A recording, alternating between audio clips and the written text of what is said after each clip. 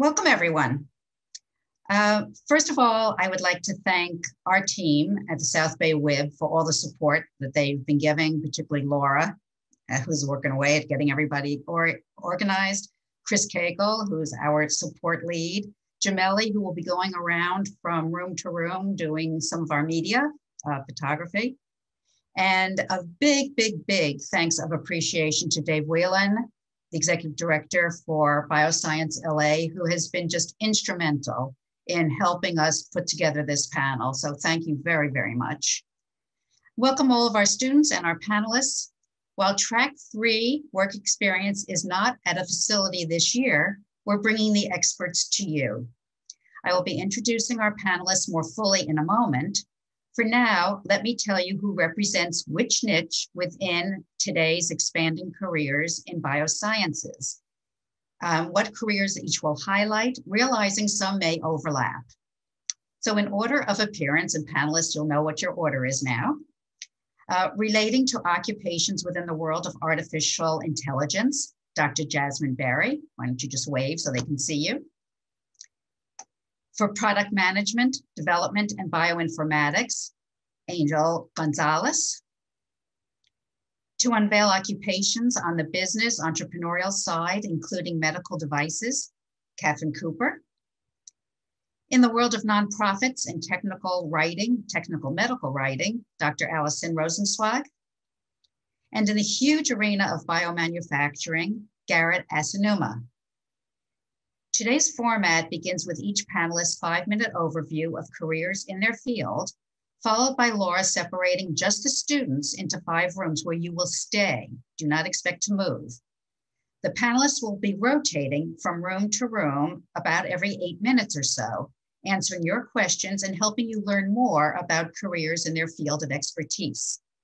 Afterward, everyone will return to the main room, so expect that, um, and we will go from there. Reminder, please, students, Cameras and mics on during the breakouts, please. However, they may be off and mics muted until then. So let's begin with, um, with starting our panel. And you might wanna make sure you're on speaker view, everybody. So our first panelist is, um, as a research scientist, Dr. Jasmine Berry actively works to model the science of artificial intelligence. Many of us know it as AI. Presently, Dr. Berry is CTO, Chief Technical Officer of Harexe Health, a new virtual e-wellness platform for diabetic patients and consumers, all accomplished via mobile smartphone apps. Jasmine provides subject matter expertise on AI-enabled systems to support such scalable implementation of AI for health related applications. Some of her past roles, which are numerous in tech, include software engineer at the National Security Agency, intrusion analyst at Lockheed Martin, and quality and reliability engineer at Intel. Her BS degree in computer science from Norfolk State University then pursued her master's and PhD in computer science from the University of Southern California.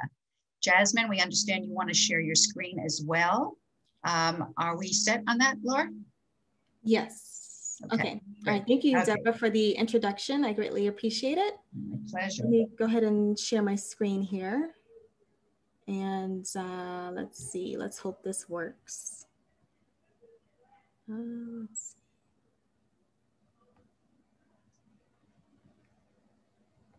Okay, can everyone see that? Yes, thank you. Okay, excellent, excellent, perfect. All right, well, good afternoon, everyone. Um, so like Deborah said, I am Jasmine Berry, and I'm going to talk to you uh, very briefly about AI in healthcare and uh, possible career options that you have if you're interested uh, in this particular space. So some of us have heard of AI before, uh, mainly as it relates to things of, of related to robotics. Um, sometimes we we hear of you know robots taking over and becoming more smarter or smarter than humans one day. Uh, but just to kind of give a, a real idea of what AI is in the modern time, uh, we define AI very briefly as a wide ranging branch of computer science, which is concerned with building uh, smart systems that are capable of performing tasks that typically require human intelligence. So we look at the human aspect uh, in a lot of ways to model certain behaviors that we can apply to our computational systems, like reasoning, planning, learning, uh, knowledge representation, perception, uh, motion, and manipulation. And we believe by studying uh, the human brain or even the human body, we can figure out ways that we can make our computational systems faster, uh, more durable, and more robust. So uh, as it relates to healthcare, you know, one of the fears that many people have is that AI will eventually take over uh, the healthcare system and even replace our jobs. So just to kind of get a, a good uh, understanding of, um, of AI, I just want to, if you can, maybe answer this question in the chat box. If the students can open the chat box and enter uh, the answer to this question or, or what you believe the answer to be. It's how many jobs have been eliminated by AI in healthcare to date. Uh, if you can give me a, a, quick answer, what do you think? Uh, how many jobs have been eliminated by artificial intelligence? And I'm gonna see if I can open the chat here.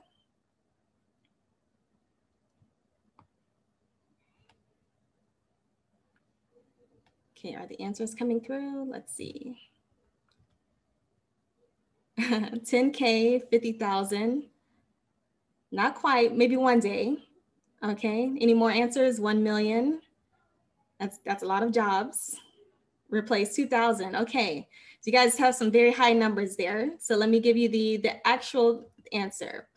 So the answer is none. To date, as it stands, AI has not replaced any jobs, which can be very surprising. Uh, but uh, I'll give a reason for that probably in the break rooms. We'll discuss this, uh, why this is the case. Now, when it relates to, or when it comes down to potential careers in AI machine learning, uh, if I were your, in your position, uh, one of the things I would want to know is what are the entry level jobs um, in AI and how much you know you could potentially make with the salary. So with AI, uh, some of the top jobs that people are hiring for that you can train yourself uh, for an entry level position include machine learning engineer, uh, data scientist, where you're processing information all the time and learning to make meaning out of all, the, all of the data that comes in. Uh, we also have computer vision engineer, which can apply to uh, robotics uh, or smart driving cars or smart cars, and data warehouse uh, architect and algorithm engineers. Now for these particular careers, uh, there is a particular pathway that helps to get there. Uh, and it could start right now as soon as you lead this event here today. And you can start the educational requirements that include, uh, you know, Bayesian networking, which is working with artificial neural networks, uh, studying computer science, basically learning how to code and program, uh, cognitive science theory, getting into engineering, physics, uh, robotics, and um, some very basic levels of math that you're probably studying now already, which includes algebra, calculus, logic, and probability and statistics. And I have um, an, attached here kind of like a guide to get started with a career in AI. And I'll share that link with you in the breakout rooms uh, to follow.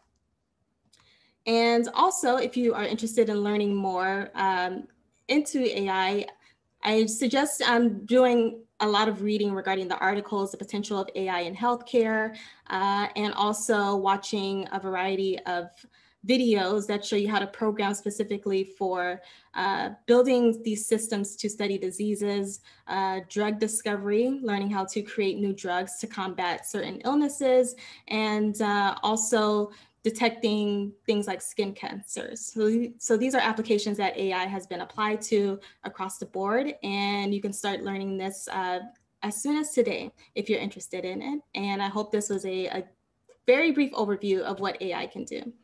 So thank you. That's fabulous, Jasmine. Thank you so much. Field of opportunities there. It's a lot new to me, so I'm sure to the students too. Our next speaker will be Angel Gonzalez. Angel is a research scientist with specialties in drug development, building healthcare products using next generation sequencing technologies, and bioinformatics. He currently is a senior researcher at Zymo Research in Irvine, where he focuses on developing whole genome sequencing pipelines, which enable the study and characterization of the, micro, of the microbial, microbial world. I've got a lot of language to learn. Previously, Angel worked on developing a novel class of antibiotics that target antibiotic resistant bacteria using molecular biology and bioinformatic techniques. Angel is passionate about solving pressing healthcare challenges using genomics and sequencing technology. Born and raised in Los Angeles, he holds a bachelor in biochemistry from Hiram College in Ohio. Like many successful people in their field of interest, Angel knows the value of networking and is actively engaged in Biotech Connection Los Angeles, or BCLA, an organization to promote and support students, researchers, and professionals in the biosciences. Angel, we're going to turn over the speaker platform to you. Hi, everyone. Uh, I'm excited to share with you just a small part of the science world to you. Um, I work in product management and product development. So, what does that really mean in the context of science? Um, uh, overall, at a higher level, uh, my focus is to build products that build that bring value to people that solve a pressing need or address a growing problem. Um, and to give you an, a very recent example uh, of a product that I'm currently helping to build at Zymo, um, we currently uh, are undertaking to build a pipeline to uh, to understand COVID, uh, the coronavirus. Um, specifically, the program that we're looking to build is a COVID surveillance program uh, with the objective of detecting different variations of the coronavirus. And so we asked the question, especially the past uh, year or so, what can we do uh, to help uh, the community, uh, our environment, um, to help uh, this pressing need of understanding this threat of the coronavirus. And so we thought, what can we do? What are the most, how can we use our own specialties to help bring something that will bring value? And so this happened uh, as recent as two weeks ago. Um, and so currently we have built a team composing of many different type of scientists scientists that, uh, that specialize in genetic material uh, extraction and purification. Um, we have scientists that focus on specifically working in the lab to help prepare uh, samples for sequencing, which is over, which is uh, at the most simplistic is helping to break down uh, the genetic material of COVID uh, into small bits and pieces that will later be used uh, to kind of stitch back together uh, to help assemble the entire genetic uh, material of the virus. And so the objective here um, is to understand if the virus is mutating, is changing, uh, so that other scientists that are looking to build vaccines or therapeutics have a better chance to combat the virus more effectively. Um, and the last type of scientist really that is part of uh, our growing team are bioinformaticians. And bioinformaticians, they don't necessarily work in the lab. Uh, their lab is mostly their computer, and their job is to help analyze the genetic material that uh, of the coronavirus. And they do different types of analysis using statistics, um, mostly to help uh, piece back together the, the, the genetic material from the samples. And at the end of the day, what we end up having is a report that, that is able to detail the, the genome, which is the entire genetic material of the, of the virus, and be able to analyze it in such a way to be able to say, is this virus the same virus that has been infecting uh, X amount of people, or is the virus changing gradually over time? And again, the goal that I have uh, as a product manager, product uh, developer, is to look at every component along the way from the sample extraction to the library uh, preparation for sequencing to the bioinformatics to the report that the customer, which will either be like a hospital that is interested to see uh, what their what type of virus the patient has. And so I ask myself, how can I make this process faster? How can I design this process to go to be more efficient? Um, and from a cost perspective, how can I make this uh, product effective, cost effective for um, that is realistic to put on the market? And so that requires me as a scientist to know every single step of the process very, very well. But at the same time, also have a bigger picture from a business perspective. Um, how can we uh, maximize uh, the exposure of our product? How can we um, build relationships with, with co other companies that may be interested in our work, hospitals, cities that are looking to better understand uh, how the virus is spreading. And so putting all this together, it's, it's a really uh, multifaceted uh, job that touches on a little bit of everything. And ultimately that's, that's what keeps me very mm-hmm. excited about uh, um, this work. It never, it never changes. Thank you. Thank you so much. We look forward to hearing more in the breakouts and I can we hear and see your enthusiasm. Our next panelist, Catherine Cooper, MBA, is a native Angeleno, passionate about growing and funding early stage companies and creating an ecosystem to support entrepreneurs. Since 2017, Catherine has served as co-director of the West Coast Consortium for Technology and Innovation in Pediatrics, known as CTIP. Here she heads CTIP's investment arm, where she selects medical device companies with commercialization potential, high clinical impact, and proprietary technology, making them ripe for investment and support. As our students may recognize, this is the same organization where one of our mentors, Dr. Juan Espinoza, serves. Catherine holds a BA in Human Biology from Stanford University, her MBA from the University of Southern California Marshall School of Business, and a certificate in venture capital finance from the UC Berkeley School of Law. Her career in medicine began by attending USC's Keck School of Medicine before transitioning to the business side of healthcare. Thank you for being with us, Catherine. We look forward to hearing from you. Thanks, guys. I'm really happy to be here. Um, Dr. Berry really killed it with having a PowerPoint presentation, and that was amazing. Uh, you will just be looking at the background of my office this whole time and listening to me speak. So hopefully that isn't too sad for you.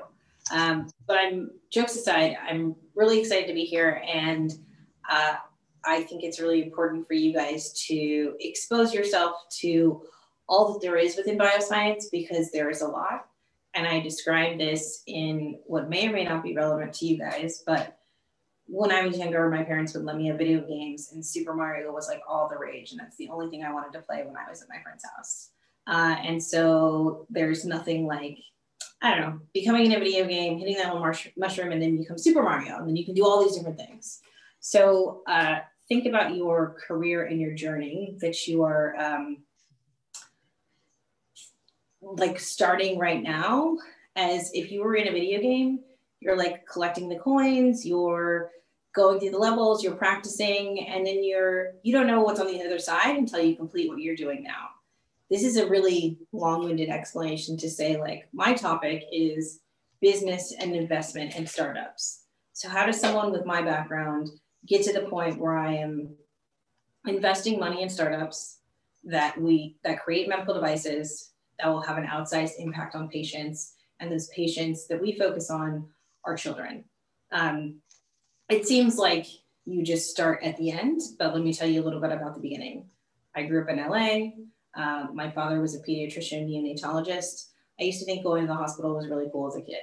Uh, does that mean I totally understood what the doctor did and like what needed to be done in terms to, to learn how to get into medical school? No, not until I was in college and I understood the pre-med requirements. Uh, I ended up doing three years of medical school at USC before leaving to join the business of medicine. And when I say the business of medicine, I essentially joined the business world uh, without formal business knowledge or training. So what did I do? Uh, I did what you guys are doing now. I surrounded myself with people who had careers that I thought were interesting and similar uh, to what I thought I might want to want to do, and I asked them.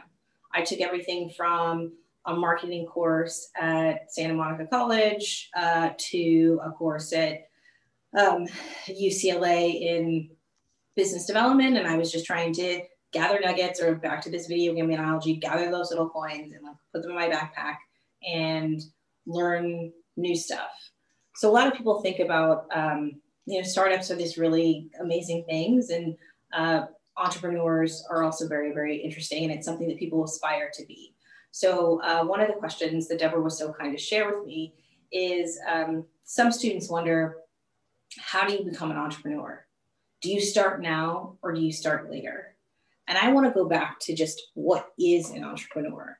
So a lot of times when you ask a question, it's like, what are you actually asking? Um, and because as you can probably guess from my background, I love school. I've been to a lot of school. So uh, I always refer to, let's say, like the dictionary thesaurus when I need to know something. So according to Webster's, uh, the definition of an entrepreneur is one who organizes, manages, and assumes the risk of a business or enterprise, including entrepreneurs who work within larger organizations, meaning that you can run your own business or you can essentially run a business within an existing organization. And that's a really um, important distinction to make because I want to encourage you guys to think of entrepreneurship as entrepreneurship as a lifelong practice. So, back to my conversation of do you start now or do you wait later? You can start now. However, the type of entrepreneur you will become will evolve and change. So, for example, I was an entrepreneur in first grade. I was obsessed with reading books. I thought bookmarks were cool my parents showed me this paper that like it changed color if you touched it. And so I like cut it up into little pieces, laminated it, and sold these bookmarks to my friends for a dollar. Like, you know, was I a business person? Was I a bookmark expert? You know, no, but I liked books, I liked bookmarks, and that's something I knew about.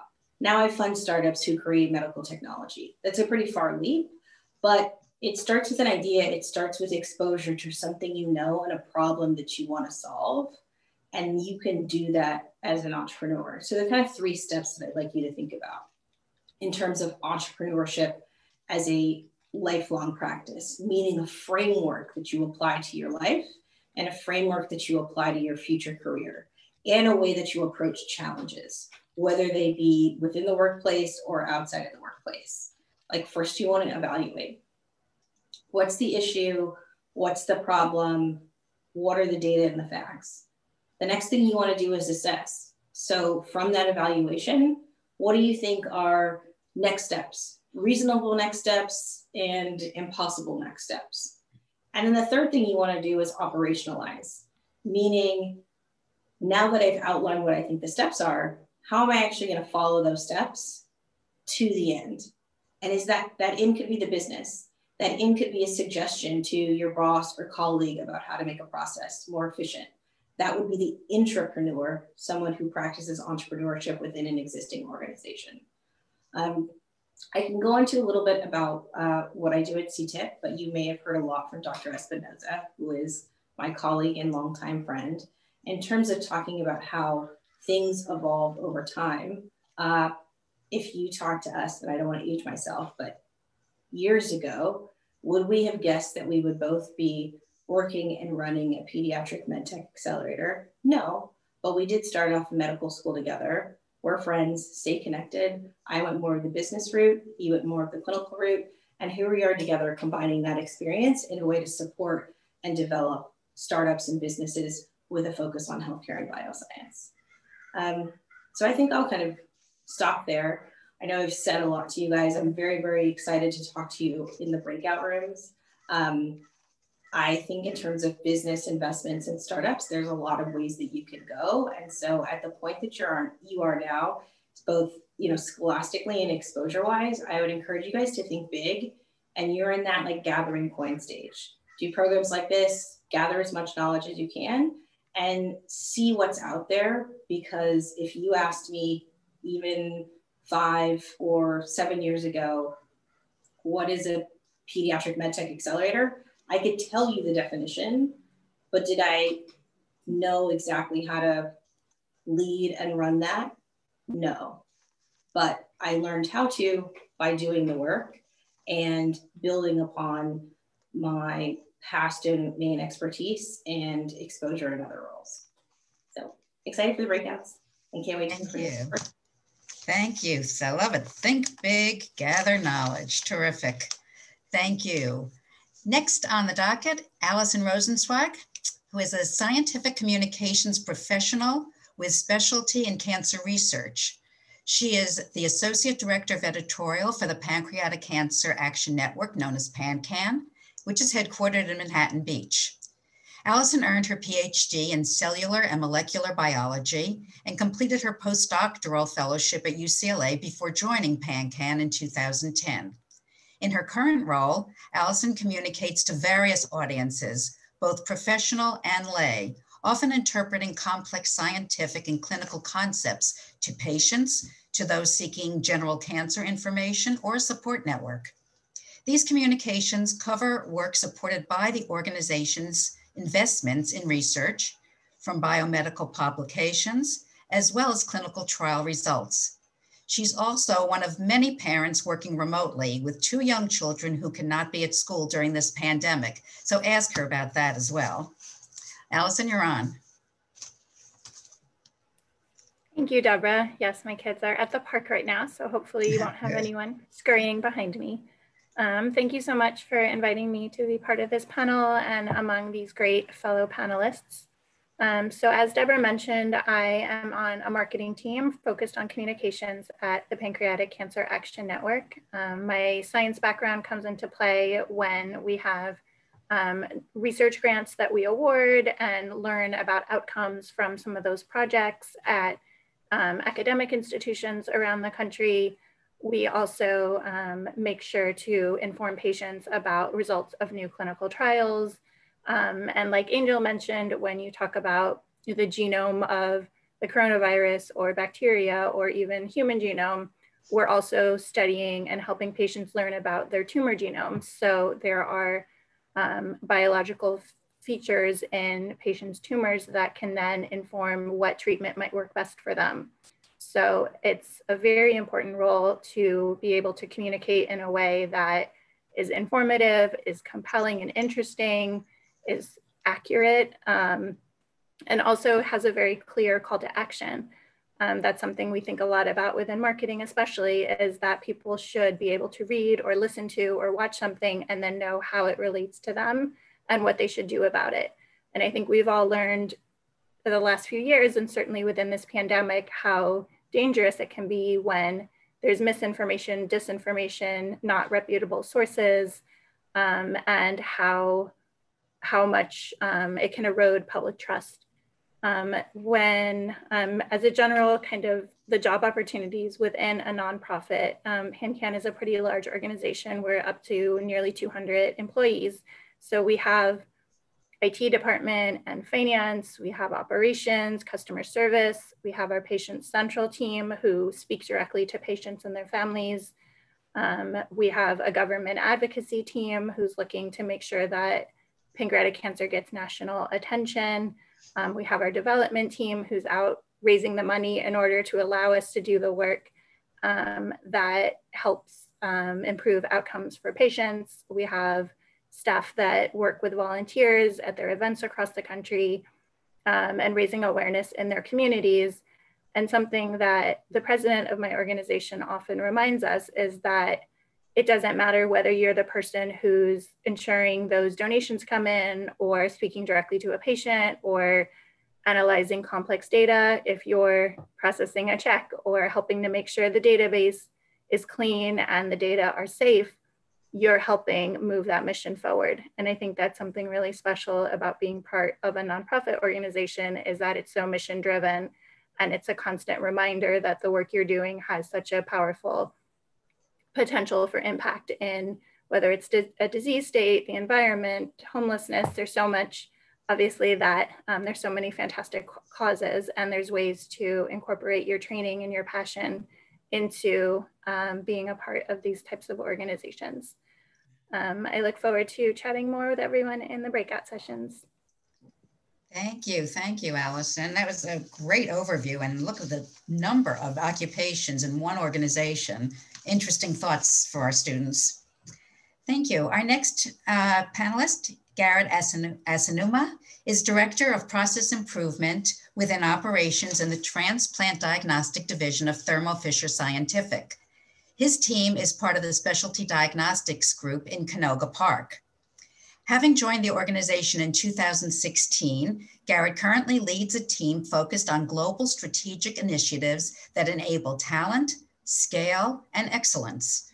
Garrett's prior experience extends across a broad range of roles, primarily within the large pharma arena, where he supports bench lab work, business operations, operational excellence, quality control, and network strategy. Many op occupational opportunities here, I think. Garrett is local, born and raised in the greater Los Angeles area. His career pathway led him to earning a degree in pharmacology from UC Santa Barbara and his master's in biotechnology from CSUCI Channel Islands. Garrett, thank you for being here and we look forward to your uh, presentation. Thanks for having me. Can everyone hear me okay? Mm -hmm. I mm-hmm. know we're, we're a little short on time, so I'll try and cover this uh, quickly, but I wanted to give an overview of what Thermo Fisher does and, and the areas that we provide because we are a pretty large organization. Um, so when we talk about careers in our breakout sessions, um, you know, we span tons and tons of opportunities. Um, so we are a pretty large organization. We have about 75,000 employees globally, um, probably somewhere in the realm of 900 different locations around the world. So pretty much wherever you want to live, I'm sure there's a there's a site there for you. Um, we, we cover a broad range of different types of markets that we serve um, in the biotech industry. Um, our mission is pretty, pretty simple, but I think pretty impactful. So our mission is to make the world healthier, cleaner, and safer by the products that we make and the science that we enable. And I think it's uh, really proven its test of resilience during this pandemic because our businesses have served from end to end supporting the entire pandemic. Um, all of the cold storage that's used for delivering and transporting the vaccine today is mostly Thermo Fisher products. Um, when the world first found out about the pandemic, um, some of the first genetic sequence analyzers to land in China were our, our sequencers. Um, I'm specifically uh, working in the diagnostics realm. Um, so we produce um, within our specialty diagnostics group somewhere in the realm of 10 to 20 million different, uh, 10 to 20 million COVID tests a week um, to support the world's testing needs. and we also do contract manufacturing from a drug product and vaccines perspective. Um, all of this can't be done um, unless all of our colleagues are kind of rooted in our four I's, which are the values that we kind of operate within. Um, and that's integrity, intensity, innovation, and involvement. And those are kind of the, the traits and characteristics that we look for when we're looking to hire, um, hire folks. So our specific location in Los Angeles is based in West Hills. Um, it's focused on transplant diagnostics. So for many of you, what does that mean? Well, it really serves the solid organ transplant market, bone marrow transplants, blood transfusion, biomarkers. Um, any anyone that has known anyone, or maybe you've experienced it yourself, that's had like a kidney transplant or a lung transplant or a heart transplant, um, that's all doable by our technology. So today in our breakout sessions, I'll, I'll answer questions and be able to provide you guys some overviews of kind of, I call the four main pathways into our organization, which are apprenticeships, internships, our leadership development program, and then entry level positions. Um, and as you kind of saw from the previous slides, we cover a, a very broad range of skill sets and technologies and manufacturing and science. Um, so kind of the, the world is your oyster when it comes to uh, Thermo Fisher and career opportunities. Wow. So, thank you. Thank you. Thank you very, very much. Um, okay, and the questions will be answered, as Garrett said, in the breakouts. Uh, Laura, are you ready to move everybody around? Yeah, okay, I'll open all the rooms now. I would love to learn from you all, um, maybe get some questions um, on the topic of AI if you're interested in it. Um, if you're, even if you're not interested in it, maybe you, you know, just want to get a better understanding of how it applies uh, maybe to uh, the things that you do want to do. Uh, AI is a very pervasive field and it's ubiquitous. And I think it's going to touch um, many more sectors and industries than we think possible um, in the near future. Okay, so let's see, who do we have on the line? So any questions from the, uh, the students? Okay, so Aisha has her uh, wisdom teeth out. That's okay, take your time. I understand. okay, let's see.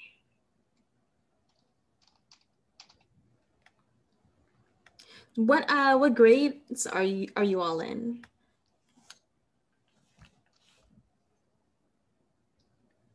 I'm a junior. Junior, okay, excellent. And what are your your particular interests? Um, maybe going forward, getting ready to head into college.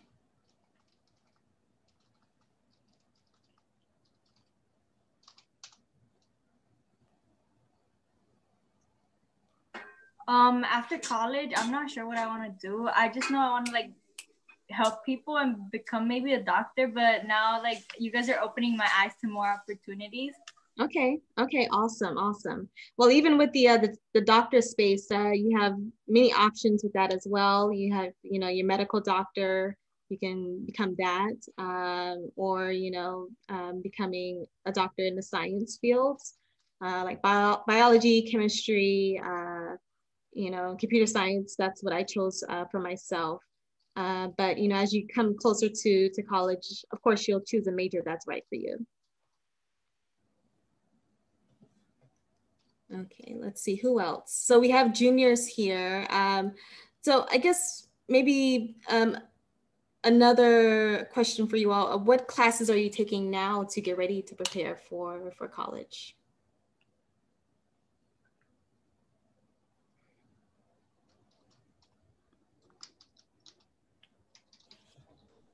I took a couple dual enrollment classes this uh, semester. What is it? I'm sorry, I couldn't hear. I took a couple dual enrollment. Uh, okay. What subjects were they? Uh, kinesiology and psychology. Okay, awesome. What do you plan on applying that to? Um, uh, I kind of just want to. I was thinking about going to North Carolina, mm-hmm. maybe. Um, University of North Carolina. Yes, for okay. sports and uh, their medicine program. Awesome. So yeah, something in that field definitely.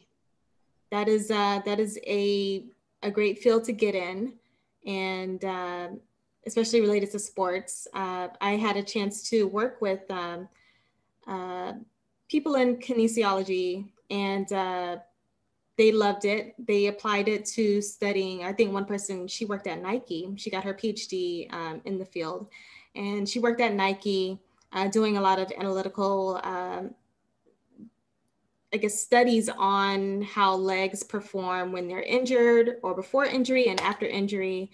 And uh, she happened to not get in the field of AI. When she started, she wasn't in the field of AI or data science, but even in that space, she found that it was better for her to learn how to code or learn how to program and use data science tools uh, to understand the work that she's doing. Uh, so, you know, depending on which space, um, you know, of kinesiology that you're going to be in, uh, it's very likely that AI will touch um, will touch every sector uh, related to that space. So uh, be prepared for working with uh, computers uh, in a variety of ways. Okay, so Henry Armstrong said he was a freshman. Okay, awesome. Awesome, awesome. So were there any questions related, any follow-up questions that you had related to the, I guess the five minute intro uh, related to AI? Does it seem like an interesting field to get into or is it something that uh, is not particularly your taste? And I'm open to hearing honest answers because this is a uh, uh, an open forum. Well, I have a question. Oh, sorry. Okay. Oh, you go. You go first, Stephanie. okay, thank you. So I was. You have to do um. you're doing computer science, correct? Yes, that's correct. Is it like what do you have to do in that field? Because I don't really. I hear about it, but I don't actually know what they do. Okay. Field. Okay, that's a very, uh, very good question. So one thing, maybe I should share this. So as a computer scientist, uh, we have uh, multiple tasks. There are different types of computer scientists as well. Uh, when it comes down to, for example, with my role with Herexi Health, uh, you know, although I'm in this uh, kind of like leadership position, we do have programmers who work on different aspects of the product that we're developing. So a computer scientist uh, could work on, let's use Instagram, for example. A computer scientist could work on the user interface, which is, you know, how does the design of the application look in terms of its aesthetics, uh, the colors that, you know, the app uses, uh, you know, whether certain buttons, uh, you know, flash when you press them or, you know, it swipes left or right. So there are people who work on that aspect. They are computer scientists. Uh, computer scientists are also people who work on what we call the, the back end of the, the software. So they're focused on, you know, how to uh, get the database to store all of your pictures, uh, get the the system to to process um, the live streams that you that you have going on. Uh, you know, all of this information that that even Instagram has to to store at one time needs to be categorized, needs to be organized so that you and I or other users can easily use this app without any uh, bugs or you know different types of um, uh, issues that may happen. So I say computer scientists, they come in different forms. So you have people who design websites, people who uh, use coding applications to create um, or to program self-driving cars, for example. Uh, they can program airplanes to, to fly automatically without having the pilot to, to manually uh, drive it itself. Uh, you know, there's different applications and people who can program your phone uh, as well. So it's, it's really, I don't want to give a, a, bad overview of what computer scientists do in terms of like just sitting at their computer all day coding. Some people do do that. Some people are uh, more hands-on with the, the physical product. So it's it's a different look. Um, computer science is a very broad field, and depending on what you want to get into, um, I think another field is like fashion, for example. There are people who program uh, certain applications to show off fashion clothes. Uh, so you know, it's a very lucrative field to get into, and the options are are quite wide, in my opinion. Right, welcome. And Chris, I know you have a question. Oh, I know yeah. rooms are closing, so I'll try to answer very fast. Oh, they are? Oh, gosh. Okay, well, I was just wondering when it comes to artificial intelligence, is that person that is able to do that, is, is that person most likely going to work for a consultant that uh, helps a larger company or work within the company who may need AI applications developed?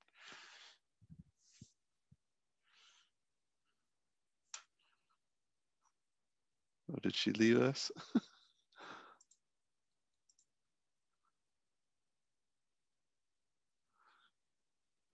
I think she did. Oh, oh, I see. We got a we got a new uh, guest speaker here. Oh, hey, Garrett. yeah, I was in the middle of a question too. Yeah, me too. okay, good. Well, um, great. We've got uh, students, uh, America, Henry, Stephanie, and Aisha uh, with us today. Great. And um, and then myself and, and Dave are also on the line. So um, why don't you go ahead and take it away and Sure. So I guess uh, in the interest of time, I don't want to bore people. So maybe I'll, I'll, first open it up to the students if you guys have any questions um, about careers, opportunities, focus areas, um, anything that kind of tickles your fancy. And if not, I can kind of jump into a little bit of the four options um, for entry level career ways that I presented earlier. And again, Garrett's with Thermo Fisher, a very yes. large global company that hires thousands of people. yep. Yeah. So ask your questions if, if you feel like you might want to work there. Yeah, it's a it's a huge company. So for those that you know aren't uh, are looking to kind of try something new, maybe down the line, and live in Europe or live in Brazil or China, I mean, it's a huge organization. And like I said, the world is kind of your oyster. Um, whether you're an engineer, programmer, plastics designer, environmentalist, um, you know, we kind of cover all the all the different products. Um, and I think mostly in, I'd say, kind of the, the pandemic perspective, our portfolio of offerings has really come to light because we are able to serve, um, you know, every every aspect of of the pandemic um, and the science behind it, um, which has been pretty powerful and, and pretty, you know, fun to be a part of.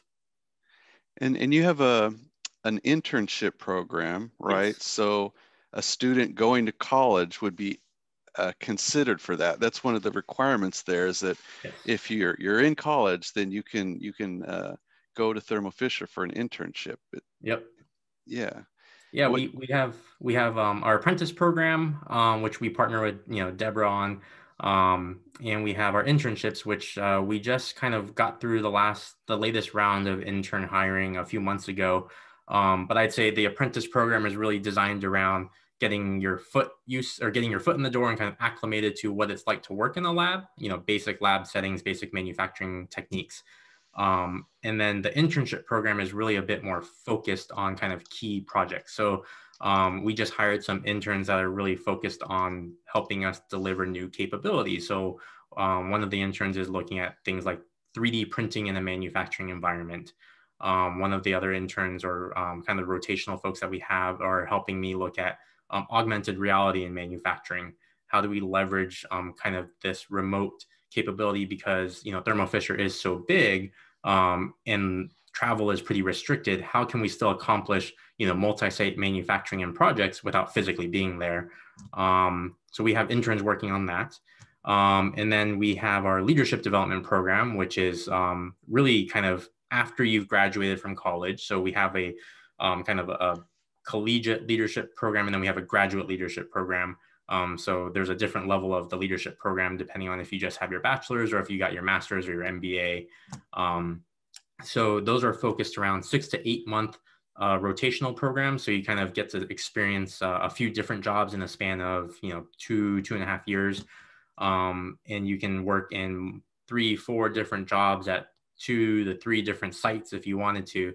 Um, so we've got a couple folks right now at our Los Angeles site here that just finished up a year in San Francisco at our San Francisco site. Um, so it's a great way to really get exposure to different career opportunities early on without really kind of picking a, a kind of a, a, very narrow path. Um, so it's great for folks to explore. Um, and then as you know, most other companies, we have our normal entry level positions, which are focused in manufacturing, um, laboratory R&D, quality, um, quality control. Um, so those are kind of the four big pathways to, to kind of get into to biotech.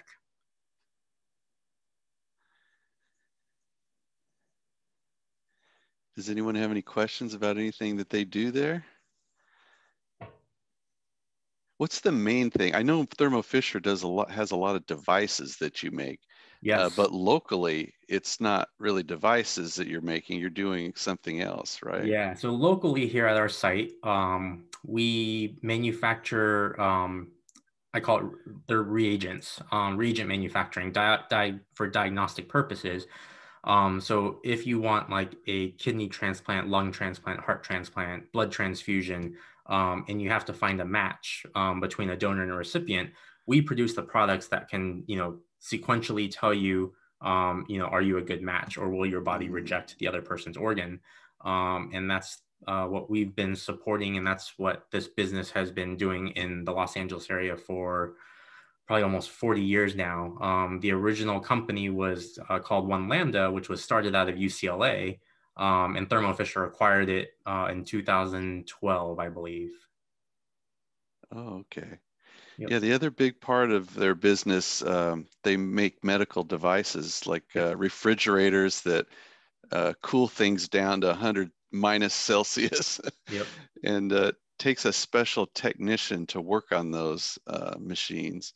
But uh, when you go tour some of the different uh, you'll see Thermo Fisher equipment is everywhere in in the labs all over LA County. Yep. Yeah. I saw I saw your question, Aisha. So the way it works is um, we actually will sequence proteins. So we have um, all of the different sequences, and every year we get kind of I call it like a, a population update of kind of what are the new um, sequences that have popped up in the world.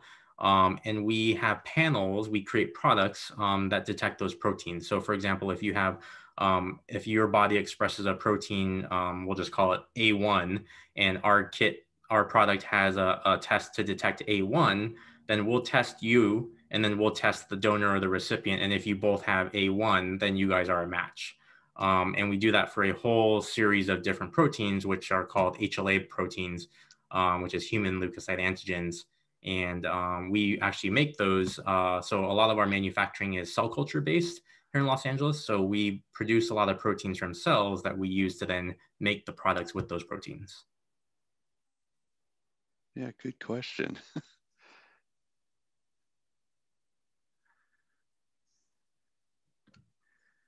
Anyone else have a question? Stephanie, what about you? America? Stephanie, you want to say something? No, it, oh, sorry. It just seems like really interesting what you do because I've never thought about how people actually have to like see if they're a match or not. I know people test it, but I didn't know it was like people like you and like your company that you work at. Yep.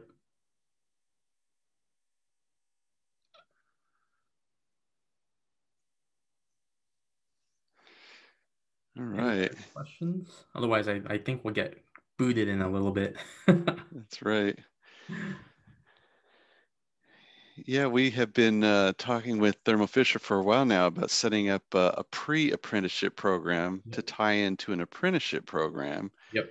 And then uh, Thermo Fisher would actually, if if they like you during the pre-apprenticeship, may actually hire you then while you're still going to school on a flexible schedule. So it's kind of a neat thing. Looks like we're getting another person here. And feel free, you know, to to um, just have conversation. You don't have to worry about, you know, specific questions. If you just want to talk to these people, they're they're um, you know pretty senior level at some of these companies and can give you a lot of good advice. Hey, Allison. Uh, it's Chris Cagle here with uh, four students. Uh, we enjoyed your um, your speech, your your presentation. We've got uh, America, Henry, Stephanie, and uh, Aisha. Let me know if I'm saying that wrong.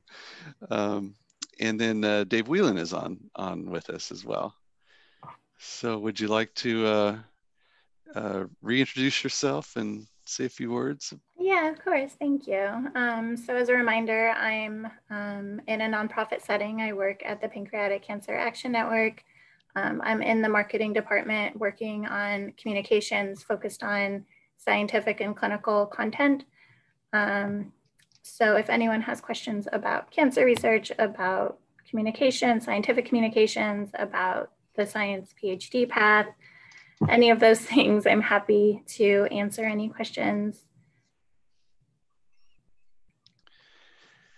Well, if um, if someone uh, wants to get into your field, you touched on this a little bit, but what what would be the best pathway? You know, certainly college, but uh, internship opportunities, apprenticeships, anything. Is it better to start with a nonprofit as opposed to you know for-profit company? Any suggestions there? Yeah, I mean, I think it really depends on what what your passions are. Um, what's great about a nonprofit, especially a larger scale nonprofit, which is nothing compared to like uh, the gentleman that was at Fisher, Thermo Fisher, like those are enormous. Nonprofits aren't that big.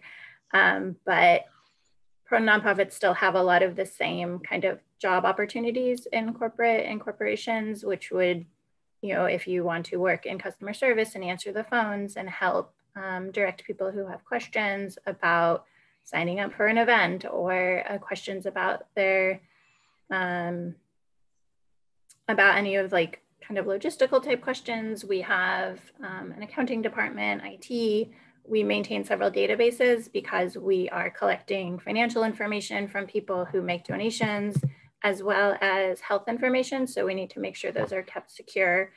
Um, we have a patient central team who talks directly to patients and their family members about any um, decision making they have to make or any um, any of the challenges that they're experiencing with the disease. Um, we have community engagement that works with volunteers out all the way across the country. So there's lots of different ways you can get involved. And I think um, one of the models that PanCan has that I'm very proud of and, and think is a very important is having really this comprehensive approach that we're talking to patients, we're funding research, we're advocating at the national, at the federal government level. Um, we're raising money and awareness for the disease. And so it's an important combination and um, really holistic way of looking at it. Um, pancreatic cancer has the lowest survival rate of any major cancer in the US. Um, so it's certainly a disease with lots of opportunity and lots of need. Um, and it's important to be able to show kind of that urgency and need when we're asking for donations and support from the community and also to show the impact of what's happening that there's progress being made that their dollars are going to a good cause um, so that's a lot of the writing i do is kind of both sides of that of showing really the problem and then some of the solutions and some of the um, incremental project progress but still progress that's happening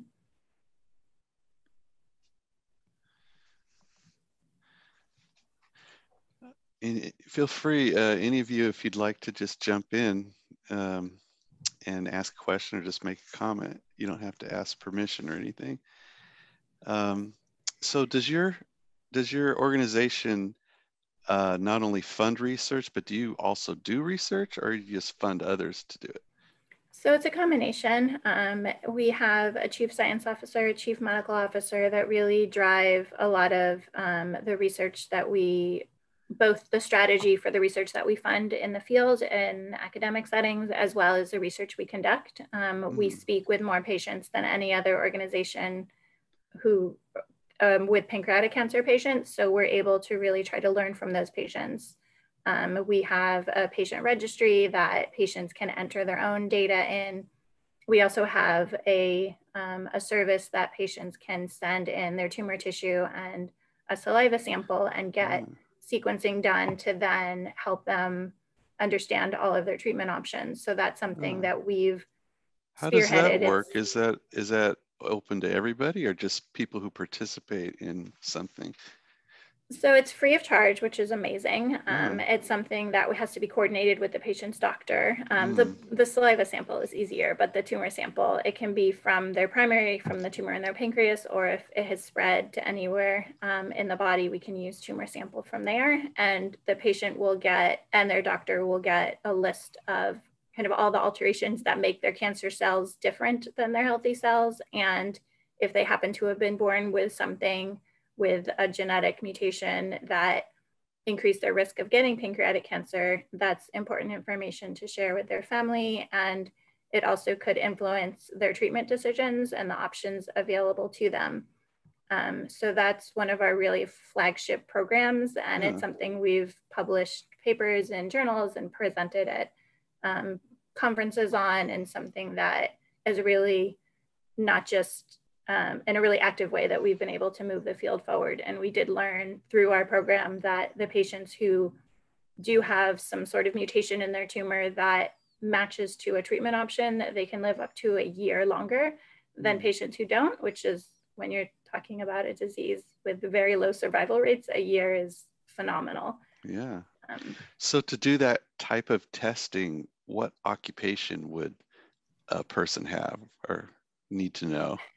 So that the labs, um, I'm sure they have biostatisticians, statisticians, mm. um, biology, biochemistry, really looking at the samples and being able to, first of all, decipher um, the tumor cells from the healthy cells and then do um, DNA and RNA analysis. So it's kind of all of that. And then there's medical professionals who look at the results and can have um, an awareness of the clinical trial options or the different drugs that might work Like for example, somebody might have an alteration in their tumor that's more commonly found in lung cancer, but there's a drug that blocks it or that works well with patients in lung cancer. So we can try to help um, inform patients and their doctors about that option that they might that might work well for them as well. Oh. Right. Well, thank you so much. I bet we're about to get cut off any second here. they, we, they've given more warnings this time. The first one I was just mid sentence. I know. I didn't get to say thank you to anyone else. I just got cut off. um, yeah, I might have time for one quick question if anyone wants to wants to jump in. They're transitioning now, but thank you all for listening. Right.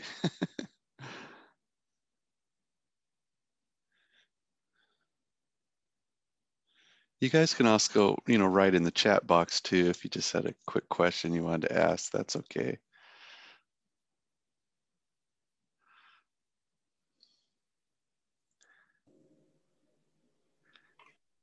Catherine. Hey, hey. Hey, this is Chris Cagle, and um, we have Dave Whelan with us and four of our students. Oh, uh, America, yeah, America, Henry, Stephanie, Aisha. And uh, maybe you'd like to remind us what your talk was about and um, introduce yourself again. Sure, sure. Is Dave going too, or are you just hanging out in this uh, Zoom, Dave? Um, uh, my talk was about what I do in business, in investment, and supporting entrepreneurs, specifically when it within healthcare. I run a pediatric medtech accelerator, oh. but my overall kind of like maybe all over the place talk was around thinking about entrepreneurship as a lifelong mindset that you should apply to your regular life, your career, um, and literally everything.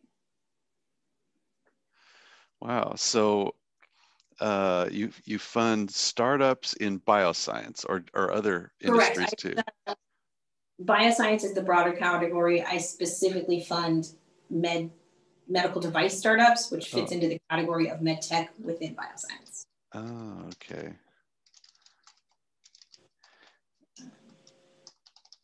But uh, let's see, Stephanie, America, I'm assuming Henry Armstrong, the Armstrong yeah, Henry, uh, yep. And uh, Aisha hit me with like any questions. Literally, like, what did you eat for lunch today? What's your favorite color? Something about bioscience. It's your eight minutes. So, what do you want to know? Ooh, favorite book. Oh, is this my favorite book? Oh, this is a tough question. Oh, uh, well, oh, so my favorite book is Pride and Prejudice, like hands down. Love it. Also love the original BBC movie, not the one with Keira Knightley, total trash, doesn't really adhere to the book. The BBC one is like pre your time and dates me, but uh, I love a period piece and I love and Prejudice. Anybody else? What are you guys into? Oh, sorry. I have a question. You went to three schools, correct? Like oh, yes. colleges? Berkeley, USC, and Stanford? Yep. How was that? Was it like hard, because, like going to three schools? Well, I didn't go to all of them at the same time. Yeah, so, like differently, correct? um, they were each challenging in their own ways, but uh, you know, school is school. Like you kind of you put your head down and you do it. But I would encourage you to do other activities while you're in school that aren't just like learning. You know, for Stanford, I was an undergraduate, so I just graduated from high school. I did a lot of activities at Stanford besides the fact that I was pre-med and majored in human biology, like a bunch of stuff. I was on the crew team. Uh, I was in a sorority. Uh, I feel like I spent most of my time doing non-academic extracurriculars. And I loved college because I made some of my lifelong friends there. And that's been a really, really important network, both personally and professionally. Uh, I went to USC for business school because I'm from LA. I wanted to go to business school while working um, because I wanted to be able to help myself pay for school in real time. And uh, the program I did at Berkeley was a shorter program that was actually only a week that resulted in a certificate that was specifically focused on venture capital. So I did that after Stanford and after the MBA and after I had worked at CTIP for a couple years because I wanted to refine my investment skills through that program. You have a couple questions that came in. Oh, let me check out the uh, the chat here. Let's see. Oh, favorite book. How did you decide this is a field you wanted to go into? This is an interesting question um, because I would say I didn't. Um, it's more like I did a lot of things and then I ended up landing here at CTIP. When you say the field, so I wanted to go into healthcare pretty early on. As I mentioned earlier, my dad my dad was a pediatrician neonatologist. I grew up around medicine my whole life. Uh, if you ask my little brother, he thinks medicine is disgusting, like gross, doesn't want to go to a hospital, like doesn't want to look at a band-aid, like nothing. And I was like, Dad, tell me about surgery while I'm eating food. That was me. Um, but I liked science. I liked knowing how things worked. And then when I realized you could combine that with patients and actually get to know people in an intimate way that relates to their health and help them, I was like, we're sold. When I left medical school, I still liked the patient impact aspect of healthcare. So I asked myself, how could I do that? And I could continue to do that by working in businesses that had to do with healthcare. So the downstream effect is on patients, but I'm no longer like one on one meeting with them, but the solutions and investments that I'm working on help them down the line. Um, so I don't know, it chose me. I kind of chose it. I don't have an amazing answer for you. Um, how did I get recruited for the sorority? This is a funny story and great. Um, my best friend in my freshman dorm came to my room one day and said, like, hey, Catherine, like, they're having rush this week. Like, I'm gonna go. And I was like, what? I thought we were gonna be roommates next next year. Like, what is this? She was like, we can come. Like, anyone can register. I said, all right. And I didn't know that much about sororities at the time, like literally nothing. Uh, so I went to Rush. Stanford does Rush in the spring. So by then you already have friends. Um, and I also like networking. So you went to a different lot of different parties, you meet a lot of different women, uh, and then fast forward to the end, I I joined one of them. Like it's interesting, but then it's not interesting. When I say I rushed, like kind of as a joke, like it was just because my friend was like, "Hey, let's do this," and I said, "Okay." Um, but this is to say that like I go pretty hard with the groups that I end up being a part of, whether they are CTIP, whether they're Dave asking me to participate in the BioFlex program, um, whether they are the other things I do supporting women in STEM in Los Angeles. I think it's really important if you're a part of a group um, to really come to that group and try to make an impact in that group and make that group better than when you joined it.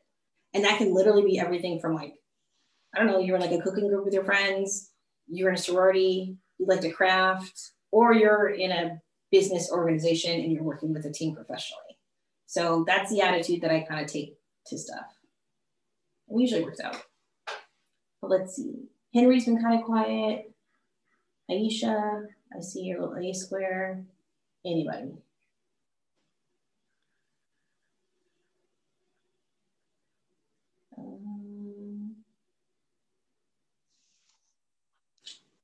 Cool. I feel like you guys have a question there. It's just not appearing. Ooh, no, wait, there's something in the chat. No, it just says thank you. Oh well. Well, I enjoy talking to you guys. I hope you enjoyed being talked at um, by me. I think your questions are interesting. I think it's really, really lovely that you participated in this program. And you don't know what you don't know. So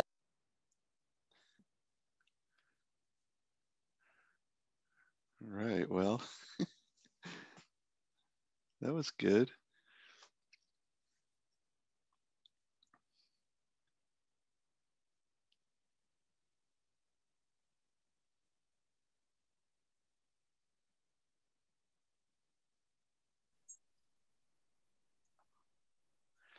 Angel, hi, how are you? Hi. We just, This is- I think we're still ch- learning this transitioning process. yeah, I know we always get cut off. Um, well, Uh, thank you in advance for for doing this and coming on and talking with us. And uh, uh, we have four students with us, uh, America, Stephanie, Aisha, Arm, uh, Henry, and uh, David Whelan is also on as well. So, hey, Angel, great. Thank you. Glad you could make it. Thank you. No, I appreciate it. I'm, I'm loving just sharing uh, as much as information as I can share with everyone to give them a better uh, idea about opportunities. Um, so I, I, I, guess I'll just like slightly reintroduce a little bit of my background just to uh, remind everyone. Uh, before that, I will say just if you have any questions, please just unmute yourself and interrupt me. If I say something you don't understand or you just want more information, please just let me know. So I work in the field of genomics, which is really the intersection of biology, chemistry, and computer science. So it's really a fun field to work in nowadays. Um, I get, I think one of my favorite aspects is working with uh, people with so many different types of backgrounds. So I'm always learning something new. Um, and, you know, I think in this age where, you know, we've been uh, living under a pandemic, sequencing technology has been uh, very much at the forefront to help um, deal and address some of the most pressing problems. So like sequencing technology, sequencing technology has been the basis of vaccine design um, because we need to understand the genetic material of the virus and how it changes over time. Um, and just to understand, you know, if someone, uh, you know, has the virus or not. Is everyone familiar, has any questions regarding uh, sequencing technology or any other uh, questions related to my background?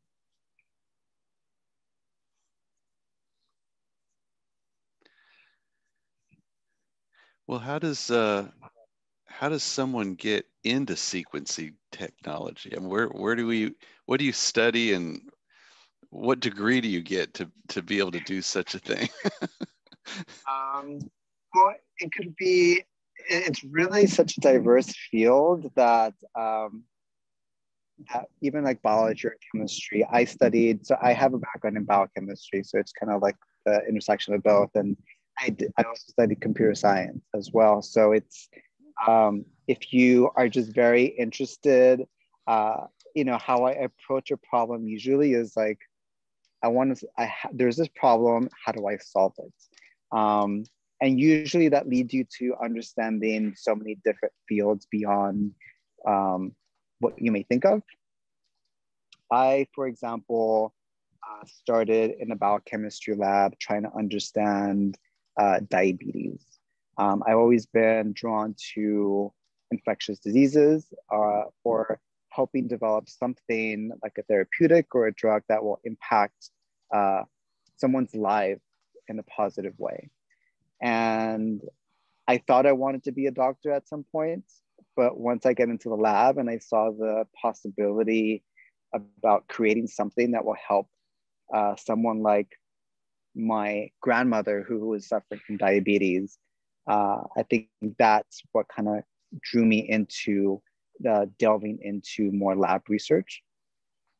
And from there, um, you know, I was very lucky to do research that just kind of further fostered and help encourage um, learning different types of aspects of, uh, of what it of what it means to develop a drug um, and definitely communicating with either counselors and, and, and teachers that help guide me through that process is very, very important. It's always important to have someone there that you can talk to and communicate um, uh, your interests because they will change over time. And someone that has more experience to guide you and to expose you to different areas is very, very helpful and has been very helpful for me.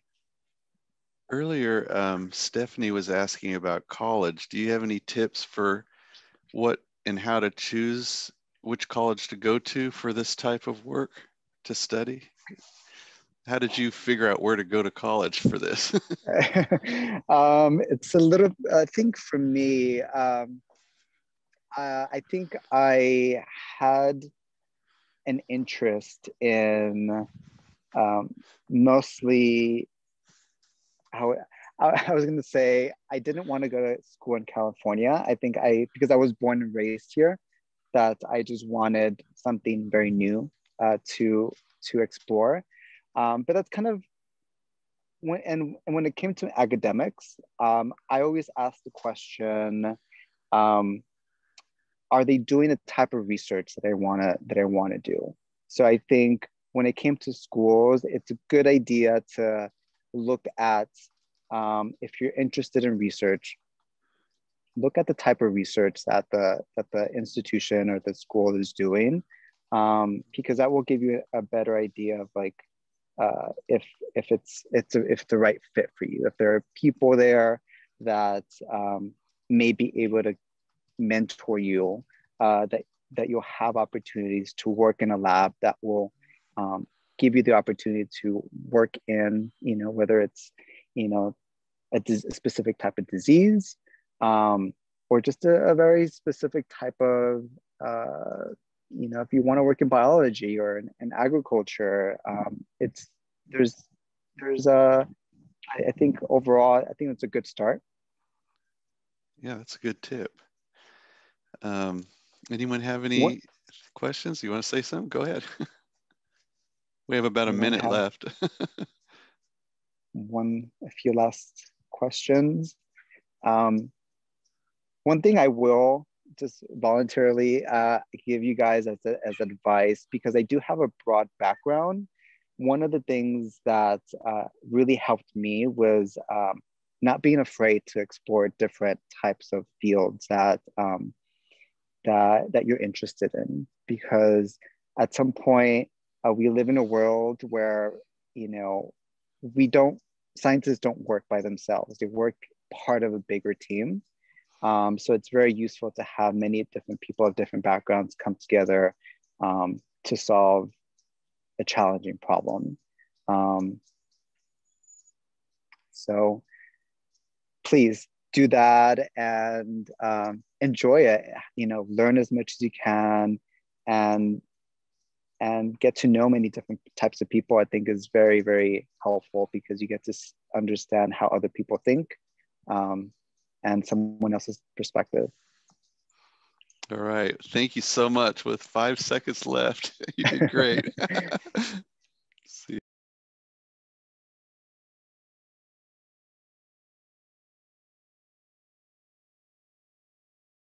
we get through everybody?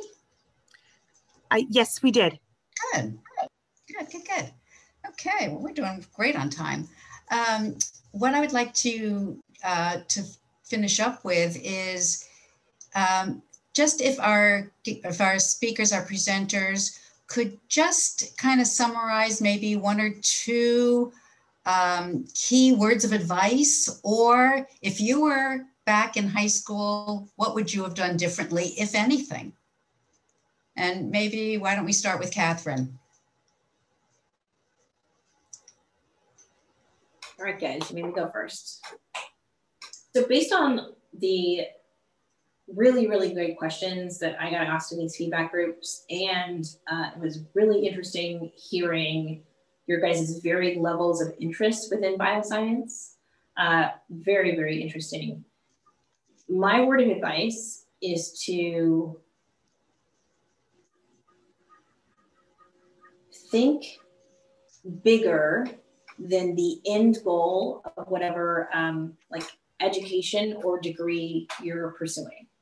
So whether that may be nursing or uh, science or engineering, there can be a step after that. Welcome, welcome. Thanks for uh, being video on for me. I know it's a struggle. Uh, don't worry, I also like put my face on in actual clothes for this. So you're welcome. Um, and I expect you guys have been doing Zoom school and uh, Zoom life. I basically live in this room. And yeah, so what would you guys like to know? And what can I tell you in these eight minutes? So you heard a little bit of my spiel, but instead of talking at you guys for another eight minutes, which if I were you, I would find boring. Um, I thought I could either do a round robin or fingers crossed get some volunteers to yeah, say anything. Ask a question. It can be related to what I do. It cannot. It can be like, what do you eat for breakfast? Whatever. Like, let's have a fun eight minutes and talk about some interesting stuff. You've been through the BioFlex program, which uh, I'm really excited about, and I think it's an amazing initiative for LA. Um, I wish something like this had existed when I was in, you know, like middle school, high school. I can't remember what I was doing back then related to being interested in science outside of um, basically begging my dad to take me to the hospital with him. And then I would just get dropped off in the doctor's lounge because like they won't let a kid run around the hospital. um, so yeah, so then I tried to drink coffee as a kid and like eat old donuts. Anyway, um, I don't want to like this is your eight minutes. So uh, I'll start with uh, hang on. What would you like to know? If I murdered your name, I apologize. Um, what's up? We can even start with like literally what did you eat for lunch today? Um, well, like you know how you said that you liked school growing Yeah. up? Well, I feel like since we're like in high school, it's a little hard learning from virtual learn like online. I want to know how you stayed like motivated, even though you didn't go to virtual school, like how you stayed motivated in school. Okay, that's a you know what? That's a really, really great question. And I think about it a lot of what it would be like to be a high school student today. Um, and how much of middle school and high school like I enjoyed like seeing my friends. You know, like meeting people at their lockers at a certain time, like how much could happen in a day because you had so many periods, like all these different things that you guys don't have now. So what I'll say is how I remained motivated doing online school, not as a high schooler, but as an adult. So um, Deborah was really kind enough to mention my background, and I have an MBA. I have a master's in business administration from USC, and I did that program entirely online. So USC has a couple different types of MBA programs. One is the traditional in-person full-time program. That's two years. You go to school, go to class, and all this other stuff. Another one is a part-time program that's about three to three and a half years long, and you do that over the weekend. Those are for working professionals. And then when I started, I was in the fourth cohort, literally meaning the fourth semester they'd ever taught this program of the of the online MBA. And it's like, why would you do? Why would you sign up for class online? I was working at the time. Um, school is expensive. I needed to be able to pay for graduate school um, with loan assistance and myself in real time. I traveled a lot for work at the time because I was doing business development work within healthcare. And so I used to see clients throughout California. So the thought of going to class and driving through LA traffic only to miss class a lot seemed impractical. Um, so I literally did school over Zoom four years before you guys had to. Um, and what kept me motivated through that program was my cohort and like my colleagues. We like had a WhatsApp thread with everybody where we were not even talking about class. Like people were sharing memes, like what they like what they cook for dinner. Like people who my class who had kids were like, this is what they're doing, you know. And I mean, we were full on chatting like while class was going on, and that just helped because you felt connected to a community even though we didn't see each other in person. We did see in person each other in person for one full week at the very beginning of the year and a half program. But then after that, unless they were a student who lived in LA, and I made a conscious effort to try to see them in person, um, we just lived online. So what the light at the end of the tunnel for me was like, I'm doing this program because I'm trying to get exposed to things scholastically that I wouldn't normally learn at work. And the only way I'm going to do that is if I learn this well. And also, I'm paying my own money for school. And like, if I'm going to do this, I'm going to learn something. Um, but what really kept me through it was talking to the other students and being like, is this professor's like video working? Is there lag? Did they get new pillows? You know, like stupid stuff like that. But honestly, it really kept me engaged in the program to do it online twice a week for two years. Oh my God, they're two minutes. And I'm so sorry. I stole like everybody's time. But Edgar, um, Edgar, as a matter of fact, is interested in pediatrics, aren't you? Uh, yes. I So am. why don't you, you're, you're right here. This is your chance. Perfect. So like uh, like you said, you went into medicine. What exactly like deferred you from staying in medicine and, and going to business? Oh, okay. So if you haven't talked to Dr. Espinoza already about being a pediatrician, you should uh, like really pick his brain about this. He's an amazing resource. And my father was also a pediatrician, so I was around like child medicine all the time. The long story is medical medicine is a long journey. It's not just four years of medical school. It's four years of medical school, three years of residency, two years of fellowship, starting practice. So I basically tapped out in year three of four of medical school, but in year three of 10 of the actual journey. I knew that I liked medicine, but I didn't like what the journey was doing to me, personality and life wise. And so once I came to the realization that I could still have an impact on patient outcomes, but in this whole world called business, which I had literally never thought about because my dad was a doctor, I was like, oh, I could just leave and get a job.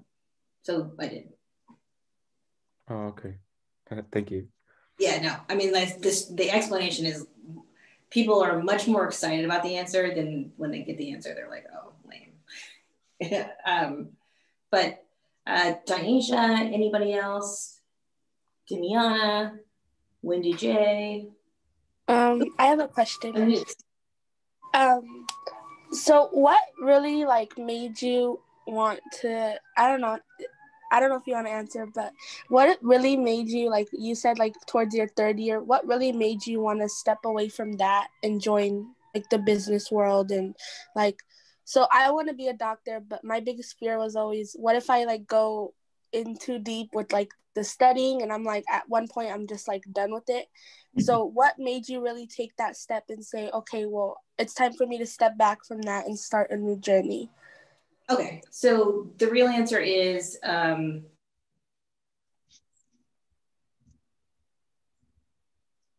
Oh, hi everyone. Oh, they you got switched already. Yes. Uh, hi everyone. Okay. Well, you So know what? just Let me just interrupt for you a second here. Um, Yes. It seems that we didn't get a notice that it was time for um, for Catherine to move, so they were in the middle of a sentence. So, guys, we're going to just change ropes here. This happens, and Angel's on now. So, if you remember, he's got a background in lots of different areas, and the group here is a mix of, um, of schools.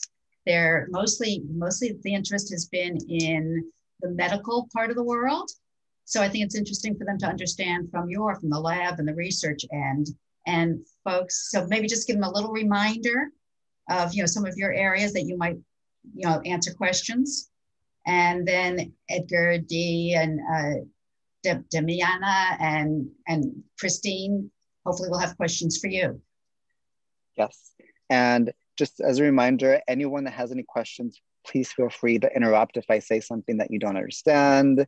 Uh, just unmute yourself and, you know, let's have a good uh, conversation. I'm here to just give you everything that I know. So just ask plenty of questions. And feel free Um, to tell them to take their mics off and call on them. I'm going to Yes. rotate out. So it's it's good if you guys just unmute yourself and uh, interrupt me if you can. Hey, Deborah. Hi. Um, there was no warning. All of a sudden, Catherine disappeared. I know that's why I said there's no warning. I gave the two minute warning, but that's all that I can do. We didn't see it. See, that's the thing. It says I put broadcast message to all. So that's why I was asking if you saw it last time because one of the other speakers said she didn't. I did. Um, I thought I did see it last time, but I didn't this time. You watch. I'm going to do it right now. Four minutes remaining. And then I'm going to click broadcast. Yep, it says, uh huh. It's there. Okay. So maybe I'll I'll do another one right at the time, changing now, switching speakers now, something like that. Well, didn't you already switch? Because Angel came in. Or Well, you're in the yeah, yeah, the next time. Oh, the next. Okay, good. Yeah, that's good. Good, good. Okay. Um, you want to? I was just in with um, De, De, I, how can I never say her word, her name with D and De, Demiana. So if you can move me into another room. Um, okay, you were in uh with okay, let me move you into I'm not gonna move you into the room with Chris. I'll move That's you fine. into Jameli. Um, let's do the last room. Okay. Um or four. She has okay, let me yeah, let me move you here. How do I do it? High school kids don't talk much, Chris says. Okay, let me You have to move call on them, and that's what I've been, that's what I prompted them in my emails. I said, feel free to call on them one by one.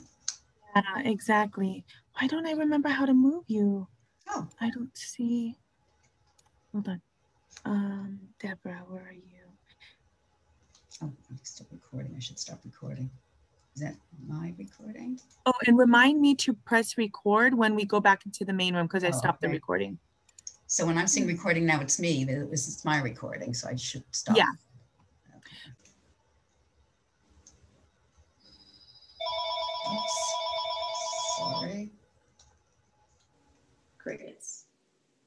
What's everybody having for dinner?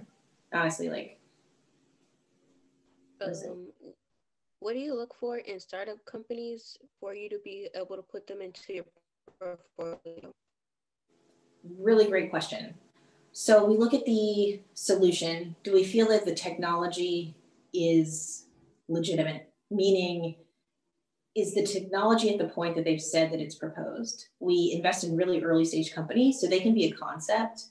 But if you're telling me that you are working on a very specific screw for orthopedic surgery for children, uh, we want to make sure that the problem that you're so, saying you're solving for is actually a problem. So, like, you may be making a better screw, but does that ortho- orthopedic surgeon actually need a better screw, and will that lead to better patient outcomes? Because if you're saying like your screw is like at a 96% and all the other screws are at a 95%, like, okay, big blow. Uh, the second thing we look for is team. So, are there enough people who have certain levels of expertise on the team? Business expertise, clinical expertise, and engineering expertise, because these are devices. We look at the timeline of how long we think this product will take to go to market. And then we look at is it feasible for CTIP to support? Do we have both the capital and um, connections in our network to truly help this company? And if we don't, we won't accept them because we want them to succeed and we want them to succeed with our help. I think Deborah's muted. Or she, oh, she's on the phone. Um, let's see. Devon, Devin, um, I was just, I didn't realize my mic was off. Um, I thought we'd get Devin and Jose involved. Devin, um, turn on your mic because you were interested in business and possibly psychology. Um, and so, you know, I don't know if there's any connection here, but, you know, certainly it might be something of interest. We only have two minutes. So Devin, do you have any questions? I mean, I'm kind of like in, in the middle of something. So I don't know. Just let's pay it to, let's get in with here, okay? I'll move on to Jose. Um, Jose, you had told us you were very, you were interested in mechanical engineering, biomanufacturing, including medical devices. So Catherine would be a great person to ask some questions of. Um, I can't really think of any, any like questions right now. Do you have any No problem. desire to start out on your own? What happened? Well, anyway, so if you want to start on your own or not, what you'll need to say is uh, training in engineering. And so that will involve more school. And then from there, you can either become an engineer in a medical device company, you can spin out and decide to create your own medical device company, you can advise early stage companies. There's so many things you can do. I would encourage you to think of like whatever the terminal degree that you get, whether that's in your major or whether that's a master's, like that's not the end. It is part of your journey and you can pivot that into whatever. Um, I think uh, Devon had a question about uh, psychology. So I loved psych when I was in medical school. And I think it's really, really interesting. I think there's a lot of things you can do. Uh, we have some companies in our portfolio that are addressing uh, mental health amongst children and adolescents. Their at home platform has been especially utilized during the pandemic as we all struggle with mental health issues being stuck at home and working and living at home. And those challenges are very unique uh, to teenagers and young adults. So their platform has both a digital health app and like a medical device component. So Devin, if you're interested in psychology, know that there's a lot of things you can do like with that. And it's not just treating patients one-on-one. It can be working with companies who are working in the space. It can be working on the technologies that help people with mental health issues. There is I just encourage you to think broadly and think outside the box after you kind of double down on, let's say, a psychology uh, degree or class or something like that. And Jasmine and Juliana both were interested in nursing. Did you have any other questions, either of you? Or thoughts, comments? Nursing is great. We have a nurse innovation group. Oh. Yeah, looks like we're switching. Okay, so there was actually a two minute warning. I don't know um, if uh, I did see it. Yeah, yeah I had a good heads up. Okay, good, good, good. So this group, you have a group here. Um, everybody remembers Angel. And this group, we have the two ladies in the group are interested, we're interested in nursing, they, they felt. Devin is was possibly interested in a mix of psychology and business. And Jose actually was looking at a, a, mechanical engineering and how that all relates. So I'll give you an idea of this group. And folks, you know, to have a chat with Angel and find out a little bit more about him and careers. Yes, you guys have a very good, uh, diverse background. And uh, first, I wanted to say just meet yourself. Um, I'll give a little bit of more background about what I do. Um, so feel free to interrupt me, please. Uh, I'm here to just uh, give you as much as information as I can so you guys can understand the different types of roles that uh, are available to you guys in science. Um, and since you guys have a very broad background, um, and my back my background is very broad. One of the biggest things that I have taken from working in um, in industry and very different fields is that actually one of my favorite parts is talking to uh, being part of a big team and talking to people that have so many different types of backgrounds. And it's made me realize how important it is to know how to communicate your ideas um, and uh, being able to talk to biologists and chemists and computer scientists all really that come together to help solve one main goal. And so like the current uh, program that we are establishing at work is the COVID surveillance program. So I work with different scientists uh, from many different levels, that ones that work in the lab. I work with ones that work with computers. Um, and, uh, you know, I have some other colleagues that work with doctors and nurses that are dealing with patients that have COVID um, so that we can establish a, a relationship of um, you know, how would it look like to, to gather samples uh, and send, the, send that to us and we can then process it through our pipeline. So really it requires, I think, uh, there's a lot of things at play uh, that make science very in interesting and uh, not just in the lab setting, but in the clinical side. So if you're looking to become a nurse or a doctor, um, where uh, it, all these worlds converge really. Um, I just had another student, another student before we switched rooms who said, "Can I be a doctor that does research?" Um, and that's definitely a possibility. Um, you know, it, if it weren't for doctors that did research, we wouldn't be able to test the vaccines that we designed. Um, and vaccines are, are very much based on the type of technology that I do at work, which is analyzing the genetic material of organisms. Um, so I'll stop there. Uh, has anyone uh, have any questions? Something that I've said that may not make sense, or just any other questions in general?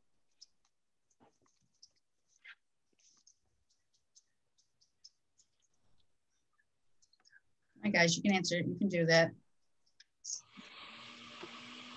How about career pathways? If these, you know, students are in high school at this point, do you have any, you know, can you tell us a little bit about your career pathway and how you got through it? Yeah, um, I definitely early on in my career uh, in, in school, I was adamant about being a doctor. That's what I wanted to do.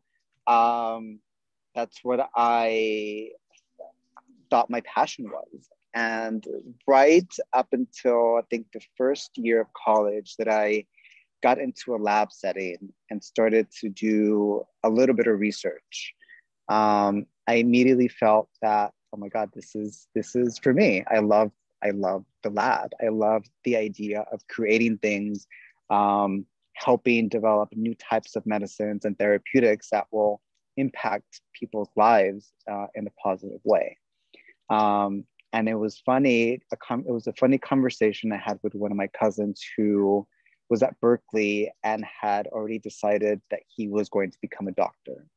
And he said that the first time he got into a lab setting, um, uh, he was like, I don't like the lab. It's not for me. Um, so I think the biggest lesson in that is like, as you are thinking about different career trajectories, um, it's important. Okay, was that one better, the transition? Oh, you just muted. Wait, okay, there it goes. Okay. Um, I just got, a, I was just told that Aisha's phone is dying.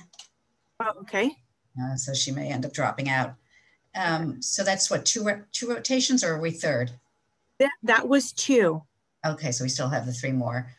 Yeah. I'm trying to decide what we can do to get these kids to talk. I know, that's what Chris was saying too.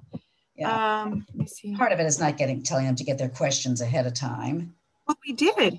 Well, we just did it today, didn't we? Uh, yesterday. Yesterday, yeah. It doesn't give them necessarily enough time. Um, oh, good. There's your two minute warning just popped up. Yeah. Okay, good. So that's working. Um, I think it's because we have so such little um, amounts of students. Well, but you wouldn't want any more in a breakout. I. That's the only thing. Um, no, I think it's just they don't that, you know, either they don't do their homework or and yet the uh, even in the resume workshop, I don't know how much participation there was, but yet we got tr tremendous feedback. Yeah, exactly. So, and I didn't make up a Google form for this one. I'm going to have to do that. Yeah. Okay. Uh, um, but I'm hoping that they'll call on each person one by one. So I have not been yeah. one where, um, let's see, I was in Jasmine's, I was in Angels. You want to be in room five? I'm sorry? You can be in room five next if you'd like. And who's going in there? Um, that is, uh, Catherine's in there right now with, uh, uh, with Abba, Mekdes, Morgan, and Sophie. And who's going to go in there next? Oh, who's going in there next? Um, that's room five. Angel's going in there. I was just with Angel, so oh, that's right. Somebody else. Yeah. So do you want to go to room two? I think because Chris is in room one, and I know he's he's got that one handled. I told him to talk, that's you know, fine. to ask questions. So I'll do two. Okay. Okay. Sounds good.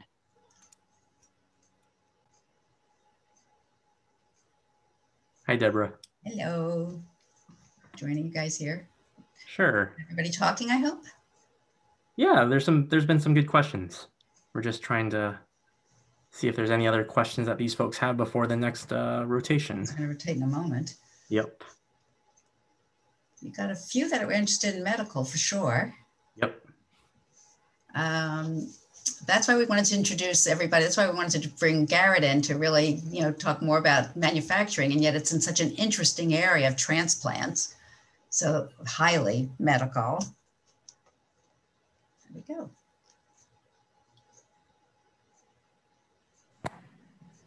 Hi. Hello. Hello. Um, Daisy, Zamia, Charlie, please unmute yourselves and put your cameras on if you have if you have cameras. I know I know most of you do, but we do want you engaged with Allison. So hi, Daisy. Hi. Charlie, do you have a camera? And please turn your mic on. Daisy, your mic isn't on. And Zamia, your mic isn't on. Um, I there you go. I told Laura every time when I turn on my camera, like it's black. So, but, but. Okay. Well, at least we can hear you. At least we can hear you. That's something. And um, good, Charlie. Thank you. And Daisy, your mic. Put your mic on. So let's start with Zamia. Zamia, why don't you tell Allison what your kind of hopes and dreams are and see how that fits into some of the career options in the nonprofit world? Um, so first, well, I want to go to a four-year study like biology, neuroscience, graduate my BS, and then like go to medical school and become a medical doctor, or probably just become a researcher. That's awesome. Um, that was very similar to me at your age. Um, I loved biology. I loved learning about the human body, and I went into college thinking I was pre med. Um, and then I took my first molecular biology class, which probably you're learning at the high school level now. Um, when I started college and really started learning about um, the mechanisms of the cell and DNA and how you can make changes to gene expression to mutations and the way that that can alter the function of the cell. And I thought that was so interesting and made me want to then go on a more traditional research path. Um, and I did that through college and grad school, and then kind of came to the realization that that didn't feel quite exactly what I wanted to do anymore um, after my postdoctoral fellowship. And so I was really lucky to find the job um, at the Pancreatic Cancer Action Network to be able to combine my excitement about science and certainly cancer research in particular with um, communications and being able to write and talk about some of the science in ways that is understandable and exciting to people who aren't scientists. Um, so that's kind of the path and the trajectory I took, but it was it was really reassuring to know that having this um, training in biology and really leading into what would have been a natural academic career, that there were other opportunities um, to be able to use that use that training and education and still um, have a successful career in a different in a different sector. Interesting. And do you have any questions, Samia, for, for Allison before I move on to somebody else? Um, no. Okay. Charlie's interesting. Charlie, tell tell Allison about some of your thinking at this point on a career. Um, I don't know, cause there's like a lot of things I'm interested in, but I have been becoming more interested in like environmental science, but also um, biology, but more towards like the biology of animals. That's awesome. Do you yeah. are you aware of any nonprofits that in, in that environmental or or you wish at one point she said marine biology or anything with animals? Are you aware of any nonprofits in those areas? I I know like the Long Beach Aquarium does a lot of education and and um, does have foundations for um, preservation and, and understanding um, marine biology. Um, I don't know offhand of other organizations or environmental, but I know there's many, and there's certainly a lot of opportunities for activism in the environmental space, um, both through nonprofits and through volunteerism, um, just because it's something that's such a critically important moment in time to be to be interested in, you know, the climate change and all that's happening and all the um, factories and and all the waste and everything. So I think it's super important. And there's also um, one of the questions I had in one of my other breakout rooms was about environmental factors and cancer. And I think there's definitely an overlap in that regard that you know, we don't fully know yet what different environmental toxins could contribute to people developing cancer. And I guess the more we pollute our air and our earth and our water, unfortunately, we're going to kind of learn more about different ways that that impacts human health. Um, so I think there's a lot of a lot of opportunity in that area.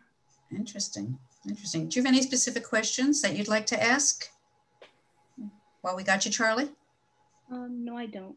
Okay, and Daisy, um, you're kind of right in that field uh, with Allison. Tell tell Allison a little bit about what you're thinking of for a potential career. Um, well, I'm interested in the medical field, and um, well, more I'm more into like nursing.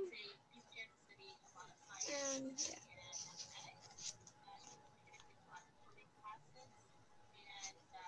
Do you want to know how that relates to the nonprofit world and her organization? Yeah.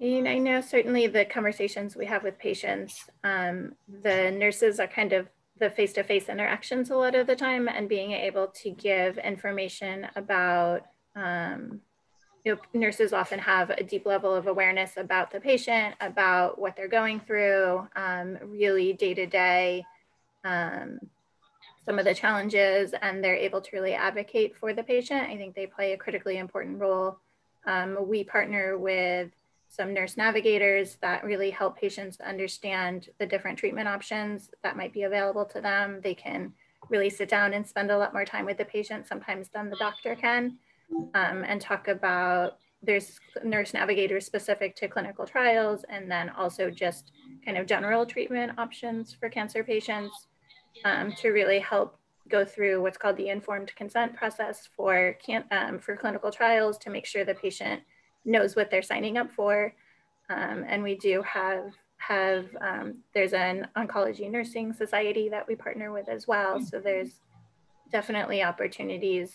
Um, and I I believe we have um, a couple of trained nurses on staff that's had a bit of a career change like I did, but um, it's definitely very applicable and very um, a very critical role to play in patient care. Yeah.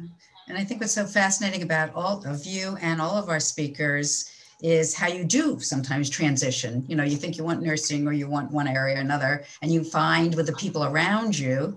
Remember, one of the, one of our speakers said that because of all the people around her at the mm-hmm. time, she realized there were other things of interest. So those that's how we want. That's why we're doing expanding careers because we want you all to see the variety that's out there for you. That's cool. Yeah. Any parting words for this group before you go as far as keeping their options open? Yeah, I mean, I think I think it's great to, you know, you have so much opportunity with obviously the internet and being able to kind of learn about different jobs and different people you admire and different ways in which you can make a yeah when they can make a difference and that's a good point the internet we hadn't really talked about that and here comes catherine Woohoo! Hi. What's up, guys? Um, Deborah, great to see you again. Let me try switch to gallery view so I can see everybody. Ooh, Charles, I like your image. It's Charlie. It's female. Oh, sorry. I oh, wow. Sorry, I'm looking at my iPad and like my eyesight is really not. The students, Gabby is on our team. The, when you see Gabby, she's she's on our marketing team.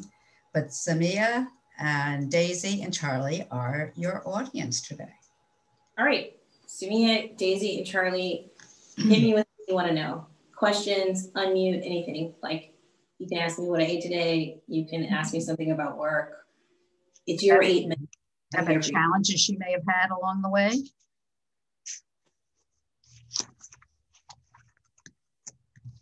Samia, we're going to start with you.